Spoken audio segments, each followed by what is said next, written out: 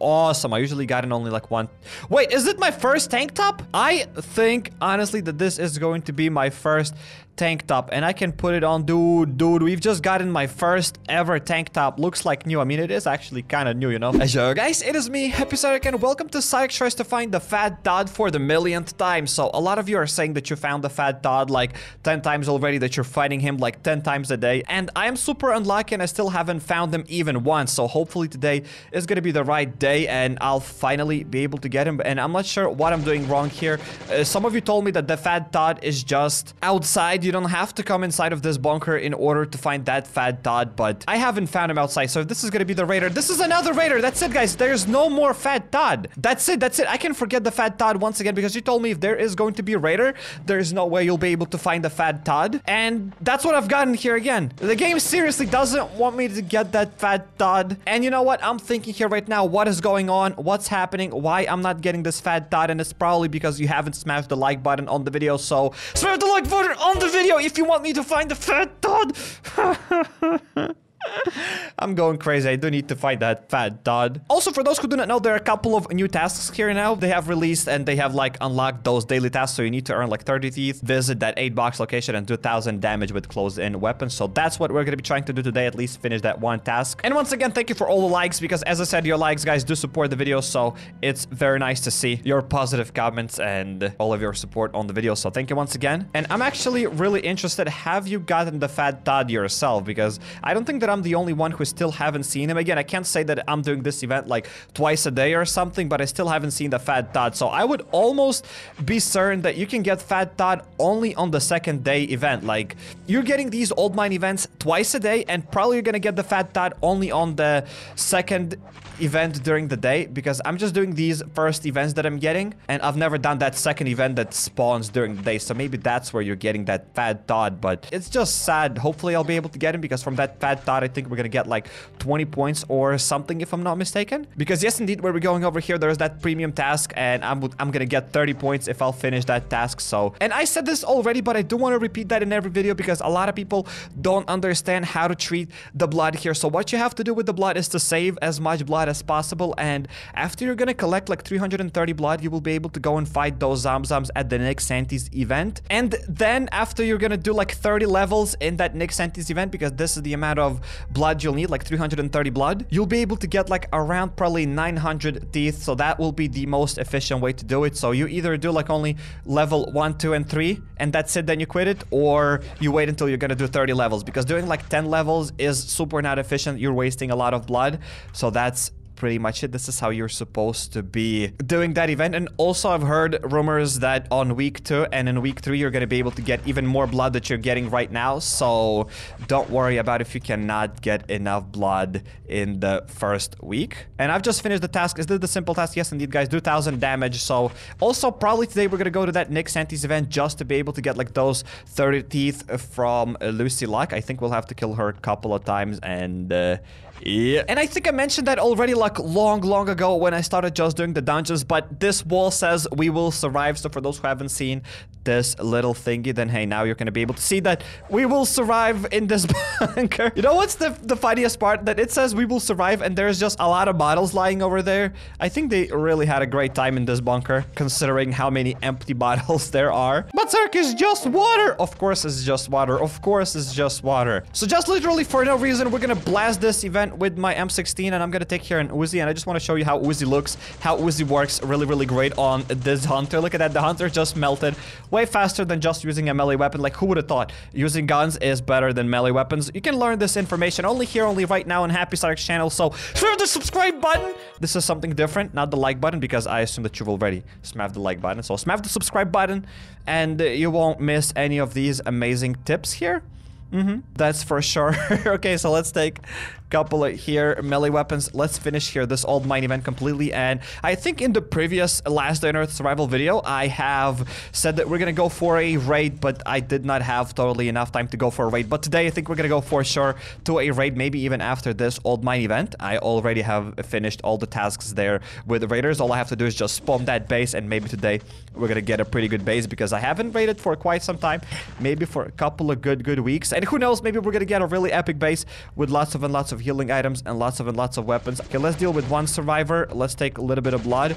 Let's deal with this survivor. Let's deal with another survivor. And now we're gonna take this Uzi and we will deal with my man uh, Foreman. Oh no, why this crawler crawled out? This is unfair. I just wanted to use this entire Uzi on my Foreman. Uzi, Uzi is the best, seriously. The Uzi doesn't miss a single bullet, so it's better probably than, M than M16. M16 is great as well, but uh, Uzi is pretty fine as well. And also, I do know that some people do not know what kind of mods I use on my weapons and blah, blah, blah, blah. But I've made already a couple of videos. Maybe there's going to be a video here on the iCard somewhere there, explaining all the mods in the game. So that is a pretty useful video. And for those who do not know which mods you should use, then I highly suggest you checking it out and you will learn what mods I'm using, what mods you should craft, and which are the best mods uh, that you can get for your weapons that are not purple mods. So now let's go outside. I think we're gonna farm a little bit of those blood samples now. Well, I'm gonna done farming this event. This is the amount of blood that we've gotten. I think it's pretty okay. And also the reason why I want to do these daily tasks now is because I really want to get all of my rewards from the season pass. And I'm assuming that by doing these daily tasks, it will be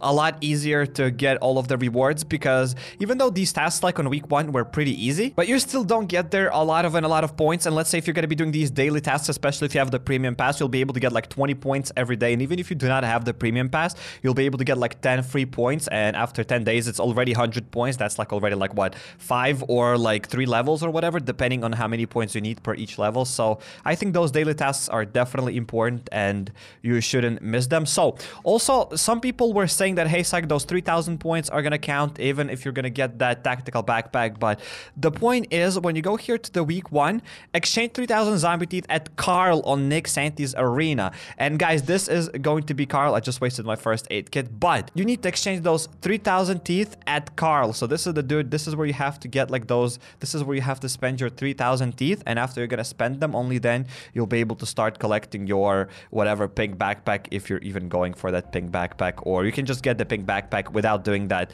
task where you have to exchange 3,000 teeth. So all I'm just saying is that you will require seriously a lot of and a lot of teeth. So that timer is going to reset right now. Very great, but the daily task says that we have to get from Lucy Luck, as I call her Lucky Luck. So let's try to fight with her here. I have a little bit of melee weapons. You know what? Lucy Luck, let's try to get inside. I think my, uh, yeah, my thing is gonna break. Okay, so we're gonna just deal with her like this. Ain't nobody got time to waste and fight her there with melee weapon. Okay, so let's try to my Lucky Look. Lucky Look. lucky Look, even worse. I'm an idiot. I'm an idiot. Okay, so five more extra teeth. So we already have here 10. I do know that doing probably third level isn't even worth it, but I just want to seriously do it just for the sake of daily tasks, just for the sake of these five points. Hopefully she's not going to jump me. Hopefully she won't spawn any other dudes. And I've already gotten a lot of comments from you saying that level 30 Zamzams here, that these level 30 bosses are going to be incredibly strong. And I kind of believe you. I'm not going to lie. I do believe you with that. So I still have to do like three extra levels that we already have 16 teeth. That's totally not enough. Okay, so let's try to go over there. Let's try to fight her one more time. So here we go, just like that, we're gonna fight her. Wait, what if I, let's say, gotta try to put the teeth over there? Is that gonna work? Let's say if I'm gonna take 21 teeth from her. Did the task somehow, some way finish? Nope, it still says only 22 teeth. I still need eight more. So let's try to go for one more level. This is seriously now just waste of these teeth. Never do like I'm doing here right now, unless you're finishing your daily tasks. But farming these teeth like this isn't import isn't good. So we have 26 teeth. Now, right, 29 for some reason. Why does it say that I have 29 when I have only 27? Uh, what?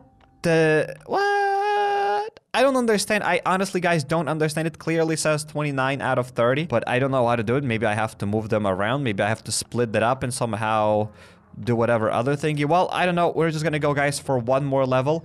I mean, for some reason, it's counting that I've got here more teeth than I actually got in here. Okay, Lucy like is gonna go to sleep. Task completed. So, okay, so when you kill her, you get like, what, six teeth probably per kill. So even if, yeah, whatever. So this task is kind of interestingly rigged. I don't know how it was counting. I don't know whatever happened there, but I've gotten my five points. I'm closer to all of my rewards there. I'm closer to getting this uh, awesome Haki underwear. I just want to show it for you because that's going to be the only reason why I'm grinding it here because I'll be able to get here this Haki underwear and I'll be able to get this nuclear as it's called here radiation backpack. It's basically like a tactical backpack, but it's going to have a little bit of the skin on it and uh, I would love to get it. And you keep repairing the wheel. I'm going to come back tomorrow and hopefully you have repaired the wheel wheel. Good luck, mate. So well, lucky enough, I just exited that place and we've gotten here an airdrop. So let's hop inside of the airdrop and I'm gonna get five extra points for the daily pass. So let's hop here with my chopper. And some people thought that maybe this is like an electrical chopper, but I don't think this is an electrical chopper or whatever. That's why it makes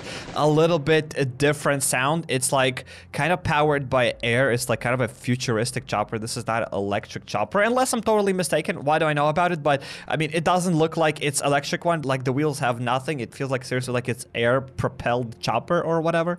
So, I mean, this is what I've gotten here. Eh, I guess that's good. I guess that's good. Could have been probably worse. So after 84 years of sorting out my inventory, we're gonna go to a raid. I kind of even forgot how to raid properly, but yeah, I've done a little bit of research on that base that we're gonna raid right now, and all I need to use is just two C4s, and we're gonna get a couple of chests, and zero idea what kind of loot we'll get here. So this is just going to be a surprise for all of us. So here we go. This is the base that we are gonna be raiding, and I did not forget, guys, to bring this corn now, because for those who didn't know, as I said, whenever I raid, I'll try to leave corn in the bases as my mark, and I always forgot about it. But hey, today we're gonna do this. So I do know that we have to place here one C4 over there, and then I'll have to place another C4 on another wall. So just in case for me to not mess it up, I'm gonna place a C4. No, why you're doing this?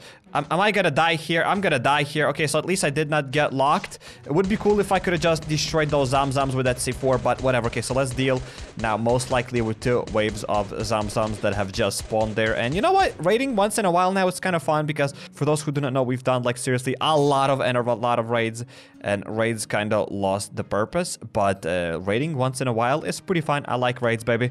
Let's go. So inside of the first chest, we already are gonna get one M16, one Glock, a flare gun. I mean, we're gonna take that doo-doo here as well. Also, there is a little bit of trash, which I totally don't care. I mean, we shouldn't be bringing trash back to the base. We should be get getting rid of the trash. So probably we're gonna leave him here this one corn. So keep it and take care of it as it would be your child. When the dude is gonna come back here, I'm sure he's gonna be super happy about that he got a corn in his base. Okay, so let's try to chop down uh, one more chest. So inside of this chest, we're gonna get a hammer. Definitely gonna pick this hammer up because as I said, I do want... Oh no, another wave of zombies. Are you kidding me? So we haven't done the snap transition. I think we're gonna keep that snap transition for the third wave. Who am I kidding? Well, Zamzams are done, and as I said, I still want to go and craft that statue, but for that statue, I need a bunch of and bunch of hammers, so we're gonna get those hammers, baby. We're gonna craft it. Still so weird that some people uh, don't want me to craft that statue, but I'm gonna craft it regardless because it's awesome, and I want to have that statue. Uh, like, some people like, well, Sark, it's useless, and I'm like, really? Is it really useless? So the sculpture, not the statue, right? So we need 20 steel and 20 hammers for it, and 20 of those, I forgot already, lead plates, so I'm definitely gonna be crafting that statue one day. I still need probably like eight or something hammers. And I'm gonna get it. I'm gonna get it and we're gonna craft that statue and it's gonna be somewhere in a very epic place and everybody's gonna be looking at it. It's like, wow, sorry, crafted the statue. That's literally the only point why I want to craft it. So inside of this chest, we're gonna get another shotgun. Uh, pretty okay. Another wave of zombies, maybe? I doubt it. Uh, we're gonna take all of these items. And wait, is the wave of zamzams gonna spawn if I chop this chest down? Maybe yes, maybe no.